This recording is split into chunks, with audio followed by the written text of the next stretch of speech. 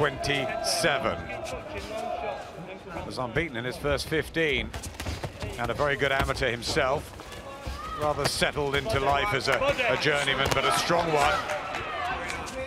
Good start this from Cardle though, finding the shots and his rhythm early in the first round.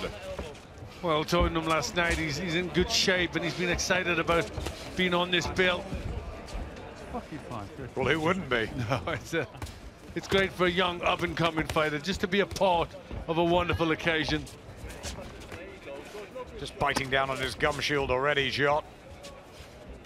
He's a hard night's work for most of these young up-and-comers. 24, Scotty Cardle.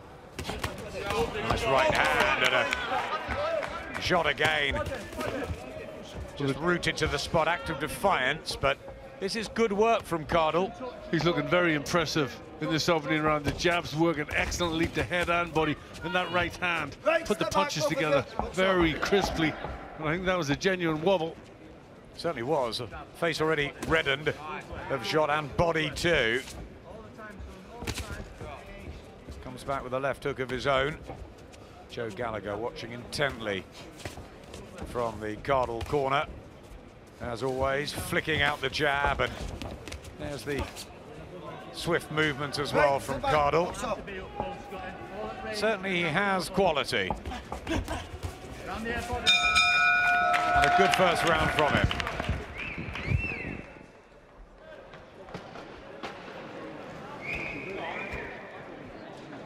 Busy night for Joe Gallagher, whose stable is uh, absolutely flying and a nice start from uh, this particular charge. Yes, just showing his variety there. The right hand, left hand, slipped it down under the, the right elbow. And there's that quick left, right, and the reaction. He's saying it was a slip, but it was two very crisp punches goes in there.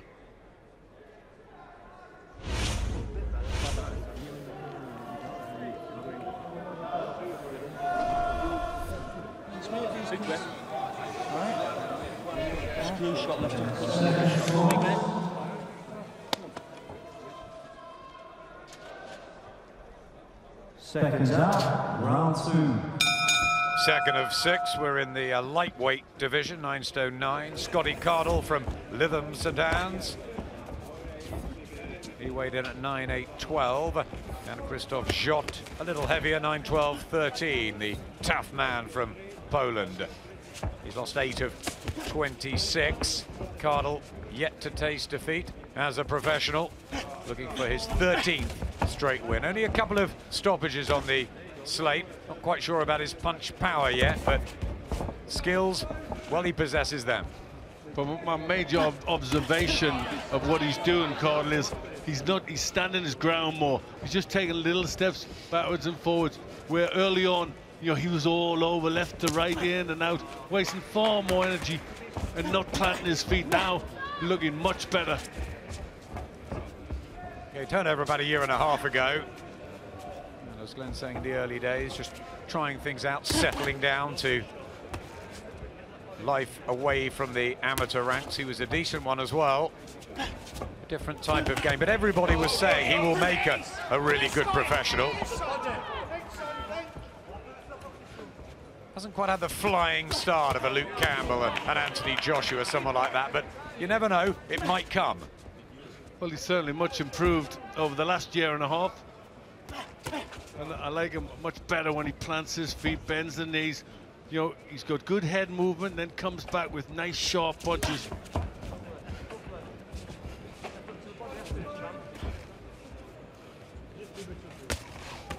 Left hook partially getting through from Szot. Just a reminder.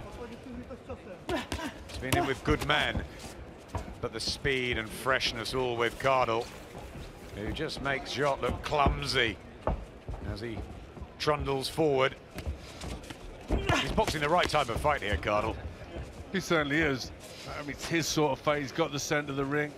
He's just moving around when he needs to move. And using lots of head movement. I would still always, you know, I like the fighters to have their, their hands up a bit more than this, so I'll always criticize fighters that rely strictly on head movement. and reflexes, the, the low left hand. Yeah, the great fighters, you find, have them up. Your Sugar Rays, your Barreras, you know, they they always like to keep their hands up. There's lots of movement there, so work rate excellent from Cardle, who in September on the uh, Ricky Burns night up in Glasgow, he was very lucky to get away with that draw. Gary Fox was uh, the opponent for Cardle. Fox decent, and he won over eight. Looks like he'll win over six tonight, we'll see.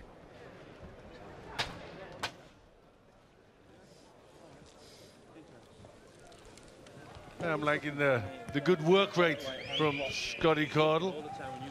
He's keeping the shots coming in from different angles, and he's keeping his hands going, head and body, up and down, both hands as well. So it's good work, very impressive. Nice start.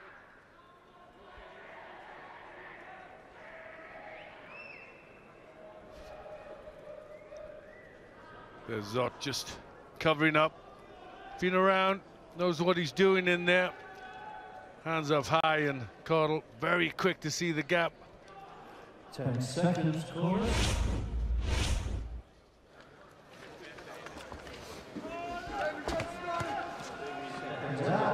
Round three. Black boots, black and green trunks of Scotty Cardle and the white and red of Krzysztof Szot from Poland. He's been around uh, as a pro since 2008. Yeah, but he fought in the World Championships, the European Championships as well, a few times. Very, very decent amateur, the 35-year-old. Hasn't quite worked out like that as a pro, but but he's stubborn, isn't he? And strong, and he doesn't ever look like he's going very far. No, he doesn't. He's obviously a, a, lot better when he was younger and probably very good amateur, as his record suggests, but he's getting older now. He's 35. Just up in the pace here, Scotty Cardle, who's had a, a nice start. Found his rhythm, well, almost from the opening bell. This has been a pretty impressive Cardle. Maybe more so than some of his other earlier matches. And that right hand was crisp, sweet. And is there a bit of damage by the left eye of Szot? Well, he hasn't got uh, statistics on his record, don't show Cardle as a, big puncher, but that's because early on he was using lots of movement, feet were off the floor, so he wasn't getting power.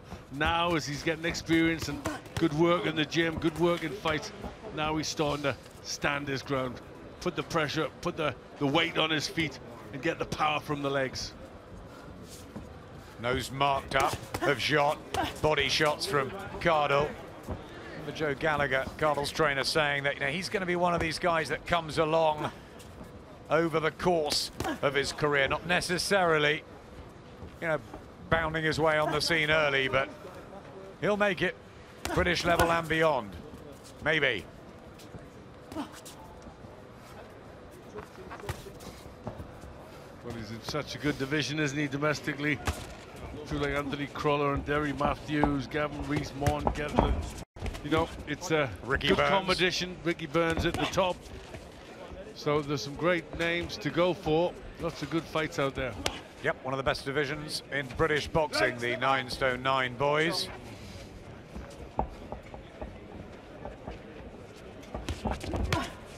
Good matches to look forward to. 2014, 2015 for Cardle. And there's plenty of time. Only 24.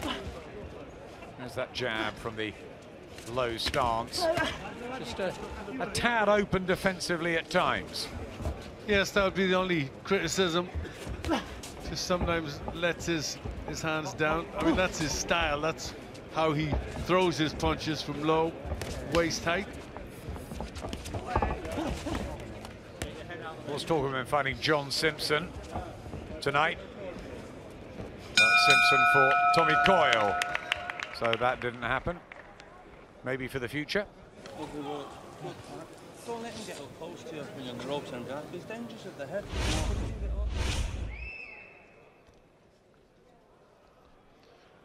There he is, just almost tattooing the head and body of Szot with good punches. Very accurate, very quick. Little chopping right hand there, and then look to get punches off to the body. And I think that right hand is going to get better and better. He's going to get some stoppages as he goes along with that punch. 10 seconds, corners. But there, the reminder, you've got to keep them up a little bit more. Seconds up, round four. Second half of the uh, latest instalment in Scotty Cardle's uh, fledgling career. And this is one of his better nights as he gets behind his jab. Krzysztof Szot just hasn't looked comfortable at all. Nice little uppercut. There's uh, movement and variety. The occasional pot shot back from Szot, but it's pretty much all been Cardle. Decent pace, decent skill set. Good job so far. Right, step back. Step back.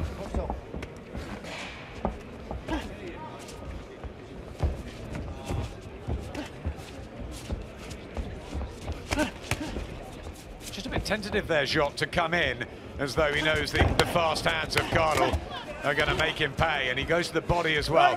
That's a good tactic, I think. Well, he's getting a bit of a job done on him, if I'm honest, Szot.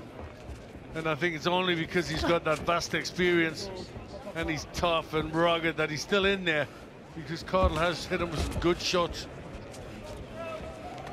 Normally goes the distance, was stopped back in June 2011 by Felix Laura. Szot. I think Cardle will be looking at getting the six rounds under his belt. And there's an argument, Glenn, that you learn more from the number of rounds you go, even if you don't get those early knockout wins, the, the drama of those, you, you know, you're learning in there, and Cardle's certainly doing that. He's he's notching up these sessions, isn't he? Well, learning is all about getting the, the right quality of opponent. And you know, if you, if you can get against decent opponents, if you can get the knockout, that's good. But you you need to learn the game. You need to learn everything for for the time when you are at the top, that you've got all the necessary skills. Left hook to the body, ripped in by Cardle. And again. And Szot just wild with his own left hook. Can't work him out.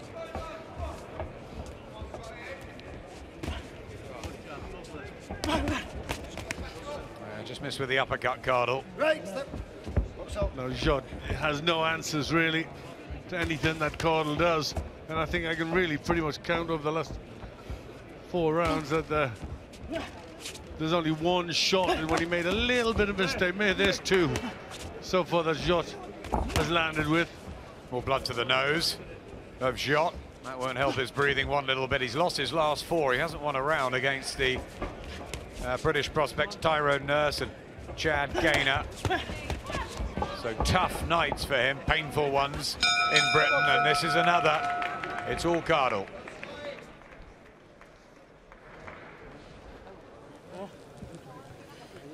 Yes, had this been the amateur competition, I think Szot would have been stopped by the outclassed rule.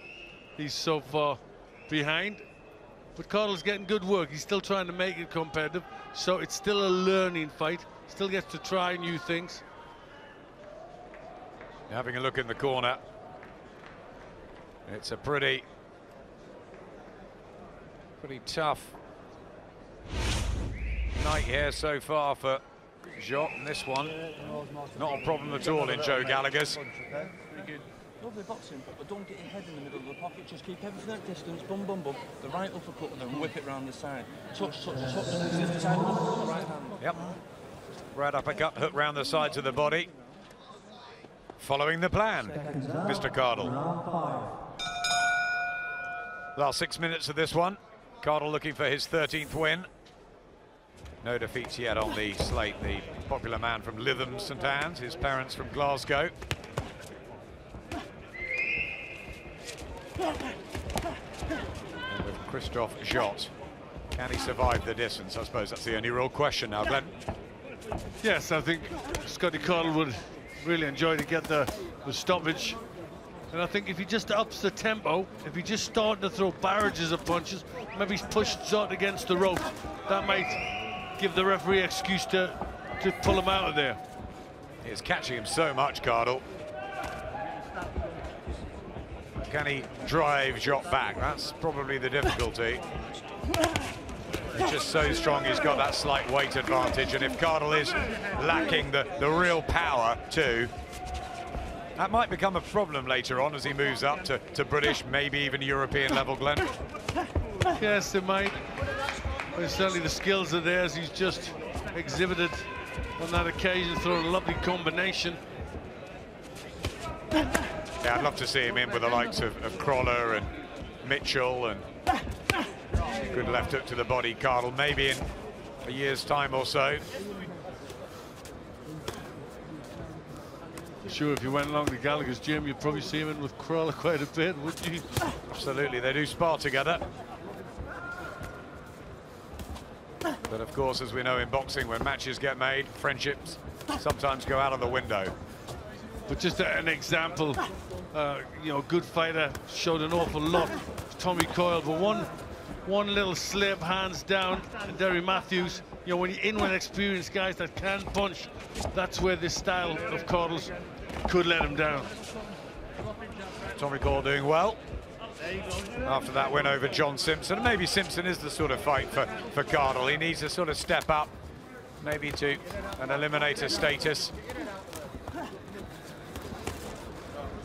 They don't have to rush him because of his age, but also winning every single round. You, know, you, you need you need maybe just to sort of go back to the corner, have to have a think and how to, you know, rebuild yourself through a fight. That's important, the learning curve. Yeah, and, and this is only his 13th fight. He's 24. You know, another another 18 months, two years, it fights at this sort of level. Maybe slightly moving it up just to learn it all. The thing is, when you when you once you go for for titles of any sort, then it's then you're on the move. Then you're on the ladder, and when you're on the ladder, you've got to be ready to keep stepping up. So you need to you need to have all the all the tools in your bag. 5-0. That's the truth. Cardle in total control. She's left, yeah? No kurwa. Jak na. Wyjdę mnie popnie i będzie.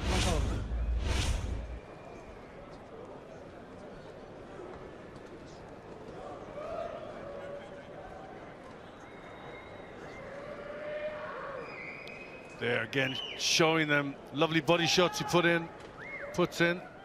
Cardle just leads with the right hand just to get his his gauge, just to get the the distance right.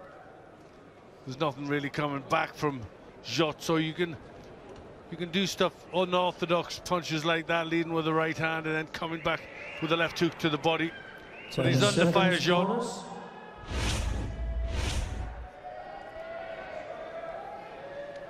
Seconds out for the sixth and final round. Final round, Scotty Cardle looking fresh as a daisy there. Maybe he could just step on it, finish the show well, won every single round here against the, the tough but outclassed Krzysztof Szot from Poland. And it might give him some confidence, not necessarily getting the stoppage, but, you know, possibly driving him back and you know, maybe even wobbling Szot and you know, finishing on a real high here, Cardle. Well, you've got to try and make a statement. The thing about being on big bills is there's important people watching, lots of good press. Promoters, matchmakers, you know, everybody's looking to see who, who you are, what you're doing, how good you're going to be. You remember some fighters, I was with one earlier in the week in, in Thomas McDonagh over in the Colliers and Mawson gym. I remember him sort of getting a really long unbeaten record, but he wasn't exciting. You know, he was he was difficult to watch him and, you know, you need to to be entertaining the fans, selling the tickets as well. And he's got a pleasing style, Cardle. But has he got it all? Yeah, and also, I mean, just showing in this round, probably he's relaxed, no shot can't hurt him. But he's took three or four right hands that really, you know, at this level, fair enough, you can take them.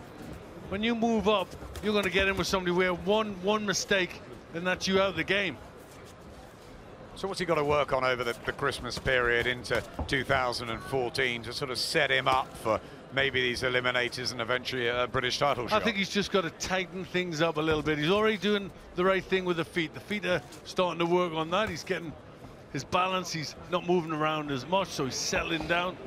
Now he's got to start just trying to tighten up the, the upper body. He likes to use the reflexes. He likes to, you know, have hands come from different angles, but he's got to be ready for something coming back. Eddie Hearn's, of course, got a buzzing promotional stable now.